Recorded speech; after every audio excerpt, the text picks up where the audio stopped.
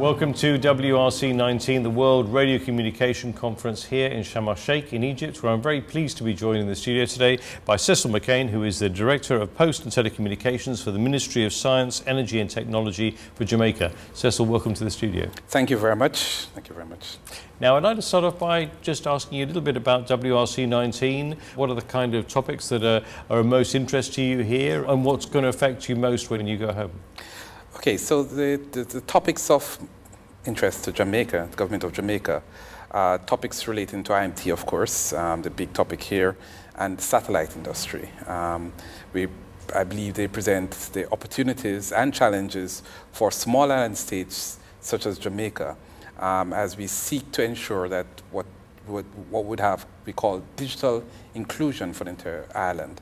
Um, Jamaica, of course, is a small island, but quite very mountainous in places. And so getting the type of telecommunications infrastructure into the interior of the island sometimes can be challenging. So we have to look at all the various technologies that would give support to ensure that all our people uh, can benefit from having digital inclusion um, through whatever the means are, either wired, wireless, satellite, as the case may be. And what do you feel most confident in at the moment in terms of the technologies? You know, I'm, I'm on the side of what's the most efficient, cost effective. Um, so whichever the technologies that are present currently, uh, the majority of the island is covered by mobile broadband, uh, like much of the world. Um, so we hope that that technology in and of itself, um, in terms of mobile broadband, would be able to take the technology to as many people as possible. Um, we're also looking at satellite broadband in and of itself to, to catch that last mile, to catch those persons who go off-road into interior areas where you have no network. And so we, we, we, can look at various, the opportunities that the various technologies present us um, as it relates to the various technologies. In, in terms of robustness and, and affordability as of well? Of course, of course, of course, of course. And, and what about in times of uh, climate uh, emergencies, etc.? Certainly, for small island states. We're in the Caribbean, and uh, natural disasters is very regular. We, we, we regularly have hurricanes, um, which passes through the Caribbean, and they affect Jamaica like every other Caribbean country on a regular basis and their impact can be quite traumatic um, in an instant. Um, as a result, we are quite vulnerable as a small island state, and so the technology itself can assist us not only with early warning, um, but also in terms of recovery and coordination. And so we see the work that is being done here as adding to that value, giving opportunities to ensure that we recover and we can mitigate as quickly as possible against these disasters as they occur. We also are in an earthquake zone, not as bad as you know Southeast Asia, but we are also vulnerable to hurricane as um, earthquakes as a natural disaster. So there are the things that we are concerned about, uh, primarily hurricanes, earthquakes, about all natural disasters, of course, can be, we are concerned about. Of course, the common disaster that are sneaking up on us is, of course, uh, sea level rise, um, an issue that we have to also be concerned because uh, much of the country, and certainly the population, um, is at low altitude levels, um, close to sea level. And so any significant sea level rise will certainly um, have a significant impact on our population.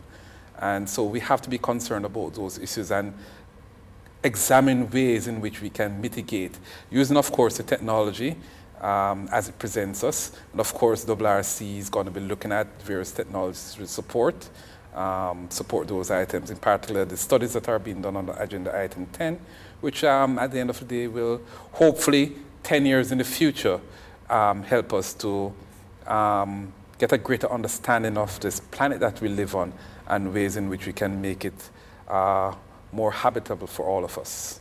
I was going to ask you, in terms of ITU study groups, how vital are they to uh, countries such as Jamaica? Uh, very, very. You know, one of the things that, um, that the ITU, through the WRC, presents, it presents an opportunity for, for, for through the study groups, for there to be harmonization in terms of the technologies um, for us to discover ways in which we can regulate the technology in a better way.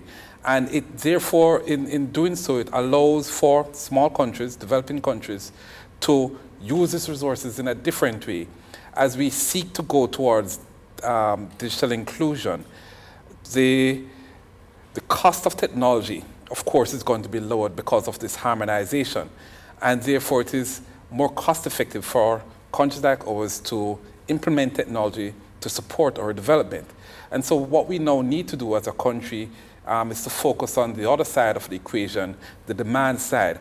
How do we provide our population with the skills, with the knowledge to use broadband technology, which is the main driver at this point in time, so that we can achieve digital inclusion. So those are where we can focus our technology to ensure that our youth, early childhood, uh, secondary and primary education, even up to the tertiary level, that over the next 10 years we properly phase our educational system such that the population and the majority of the population in the future would be able to take the opportunities that ICTs present as they come. What outcomes will make the most difference to you at the end of this conference? Um, the harmonization, certainly, the harmonization of, of frequencies. Um, the, the, cost of technology is certainly um, high for, uh, for us. And so uh, being able to ensure that uh, the, the, the devices, user devices themselves are cost effective for the everyday user. The, you know, the internet revolution has pushed um, services to the edge. And so we now have devices at the edge of that, um, at the edge, which has to be cost effective for us to use. Um, and so it, it is one of the things that I believe as an outcome that as we look at the future, the harmonization efforts will ensure that devices, the cost of infrastructure, are lowered such that it is easy to be introduced into our populations and that we can all benefit um, to the extent that is possible from what technology presents us, the opportunities that technology presents us. Well, Cecil, thank you very much for sharing your, your insights and your perspectives here at WRC 19, and we wish you the very best and hopefully the very best outcome from this conference too. Okay, and thank you for having me. Thank you.